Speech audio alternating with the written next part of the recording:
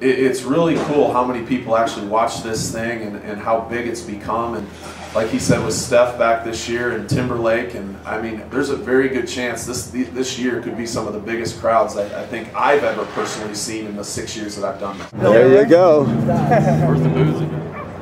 There's the winner. Back-to-back champion. Mark